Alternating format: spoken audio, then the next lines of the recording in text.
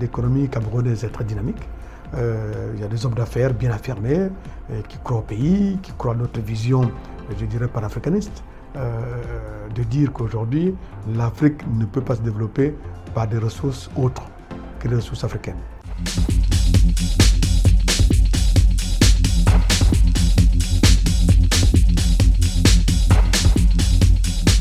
L'objectif pour nous au Cameroun, c'est d'être vraiment parmi les deux ou trois premières banques du pays.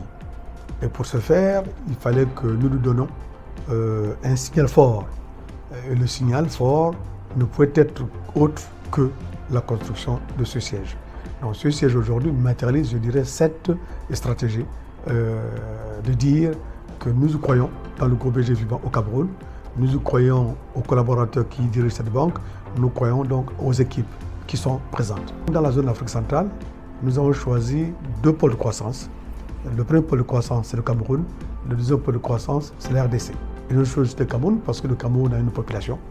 Donc le Cameroun a, je dirais, un marché. Il y a une profondeur qui est importante. Euh, nous avons observé encore au Cameroun un taux de bancarisation qui est encore, faible.